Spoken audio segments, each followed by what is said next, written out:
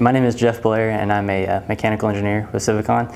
Today I'm going to show you uh, how to replace a spool on our new version of the SCP and uh, the difference between the old SCP and the new one.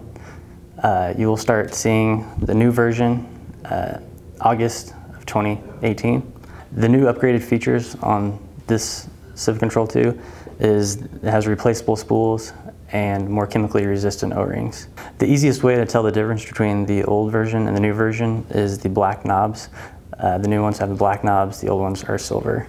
The purpose of this video is to show you how to replace a spool on the new version of the SCP. Uh, the first step is to ensure that there's no air going to your Civacontrol 2, especially the uh, lower air control blocks, which we're going to be replacing the spool on. The next step is to pull the knob out on the spool that you're going to replace.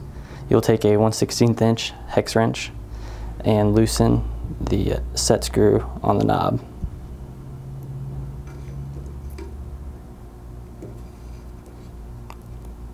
You will not need to take it all the way out. You'll then want to turn it so that you have access to this hole on the spool. Next you'll, uh, you'll take a hex wrench, put in this hole to hold onto the shaft. You'll grab the knob to remove it.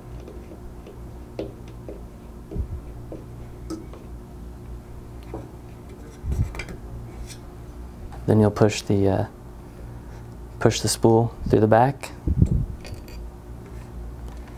and remove it.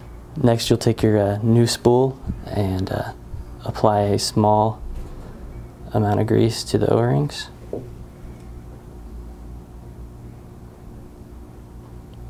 We recommend using a, uh, a Parker Super O Lube or uh, a Molykote 33. Just make sure you get all the O-rings. All right, you'll uh, take your new spool and put it through the back. Push it all the way through.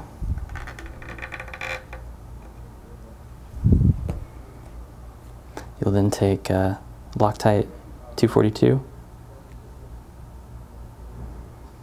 pull a little bit on the threads. You'll take your your knob, thread onto the spool, then you'll take your uh, your hex wrench, put it back through the hole, hand tighten, then you'll turn it so you have access to your uh, set screw. Take your 1 16th inch hex key. And tighten.